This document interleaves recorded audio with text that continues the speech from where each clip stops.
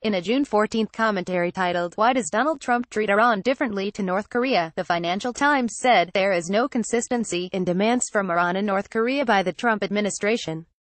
The commentator, Katrina Manson, say the Trump administration wants Tehran to abandon its missile program while Iran has many enemies in the region, notably Israel and Saudi Arabia, while North Korea has relations with neighbors China and South Korea.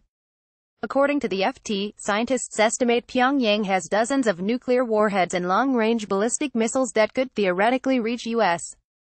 soil, and much of the program remains shrouded in secrecy but Iran has not developed nuclear weapons, has kept its enrichment facilities and accepts international inspections. It added, Iran's ballistic missiles have a maximum range of 2,000 kilometers and it has no known plans to develop intercontinental missiles.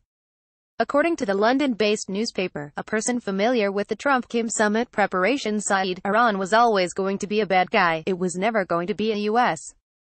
ally. But the aim with North Korea is much bigger, to go from bad guy to good guy.